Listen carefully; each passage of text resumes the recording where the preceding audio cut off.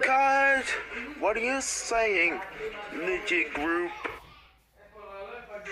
I hate legit group.